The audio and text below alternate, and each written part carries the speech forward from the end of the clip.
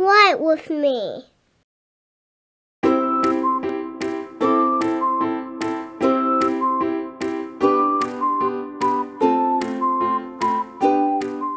Hello there, friends, and welcome back.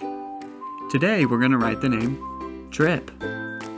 If your name is Tripp, you have got a super cool name, and I'm really happy you're here to write it with me. Let's start by spelling Tripp. Tripp is spelled T R I P P. Now let's get started. Start Tripp with one of those two tall T's. Straight up and down to start. Then come back to the top and give your two tall T a Texas sized hat. And you're done.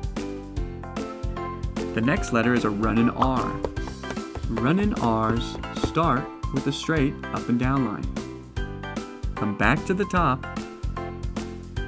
Run a line out to the right, then curve it towards the middle. Once you get to the middle, come straight back to the left. And you've just made a pesky P.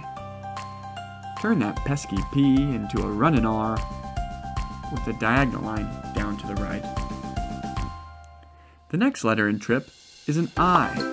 And I start my eyes with a straight up and down line. I also give my eyes a little hat at the top, a left foot, and a right foot. We're now going to draw two pesky peas back to back. Pesky peas start the straight up and down line. Come back to the top and shoot out to the right just like your R and then start to curve. Once you hit the middle, come straight back to the left.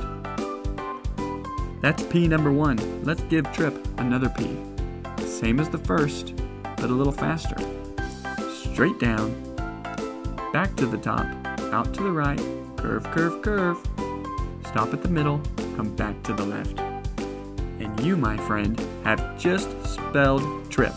T R I P P. Great job! You've done it, and I hope you're feeling as proud as I am. Remember, guys, practice makes perfect. And if you want to learn how to write all of your friends' names, subscribe to this channel, and we'll learn how to write them together. I'll see you next time.